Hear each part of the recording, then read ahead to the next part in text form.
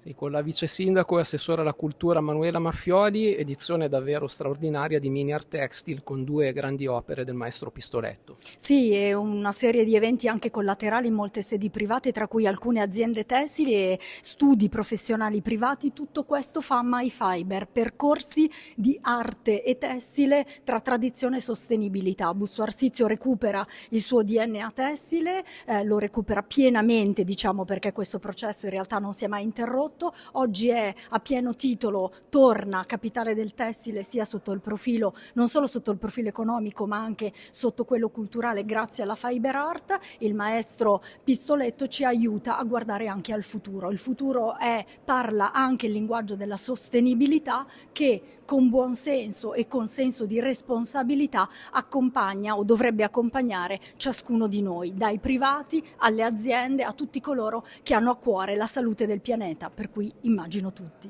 Qui siamo appunto al Museo del Tessile, eh, ma eh, sappiamo che è un evento diffuso in tutta la città, che coinvolge sì. tutta la città. Eh, come piace a noi fare la cultura, farla permeare. Eh, la città è permeata di cultura, di eventi in date molto diverse. Le mostre ai musei, comprese le installazioni del maestro Pistoletto, saranno visitabili fino al 2 di giugno, mentre ci sono date diverse per tutti gli altri eventi collaterali. Si trovano sul sito del comune, sui pieghevoli, su tutto il materiale di comunicazione.